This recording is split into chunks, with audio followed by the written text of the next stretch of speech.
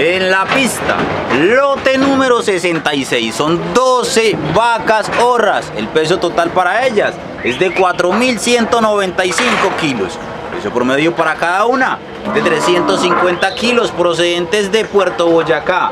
La base es de 5 mil pesos por kilo, pesadas a las 11 y 40 de la mañana. Lote número 66.